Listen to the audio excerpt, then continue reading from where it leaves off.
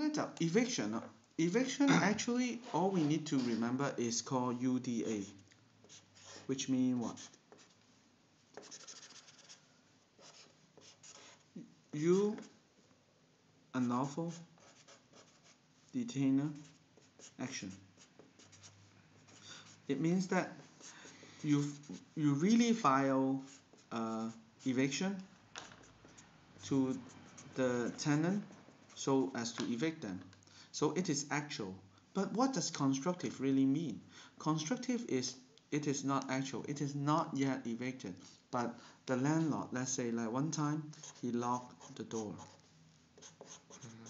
He cut the water, utility and water. And the third one is inhabitable.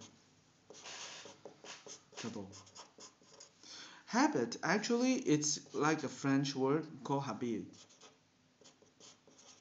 This means to reside or to live. Reside is a stronger word, but in it means that no.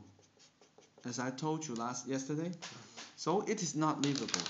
But what does it really mean here is if you have a heater and it's broken down, the landlord got the notice and he didn't do anything.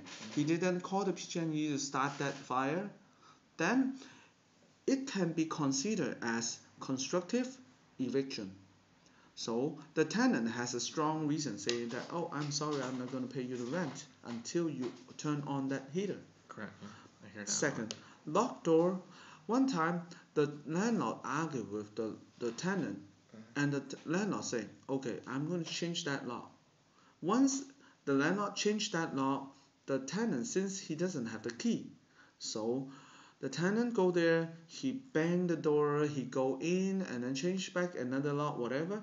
But at that time, the tenant can say, oh, the landlord is constructively evict me.